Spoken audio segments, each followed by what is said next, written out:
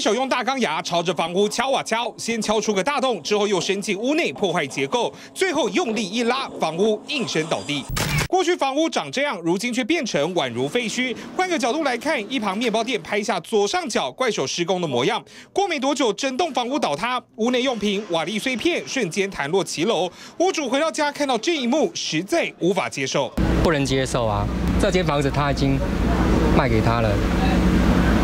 那我们还没有卖给他们呢，他要收购，我们还没有卖给他。位在新北市三重的这栋房屋，因为正在和建商谈合建，却意外成为遭拆目标。去年开始，建商向大部分地主完成收购，唯独入口两户还没谈妥。屋主指控，去年八月建商就在他的房屋后开挖水池，希望台风或地震等天然灾害会导致房屋自然倒塌。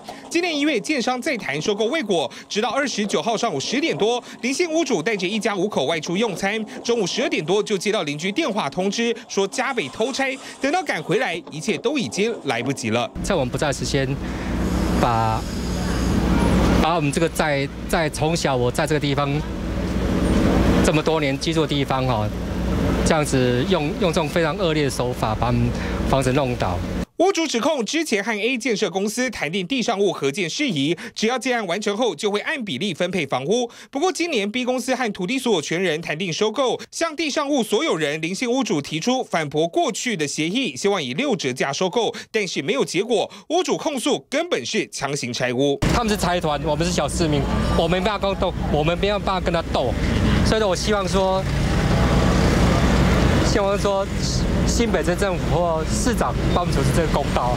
警方当场逮到两名拆屋男子，他们供称是拆错房屋，只是这样的借口听在零星屋主耳里，怎么能接受？拆掉的是有形房屋，但也毁掉从小到大的珍贵回忆。记者李嘉明、季冠宏，新北市报道。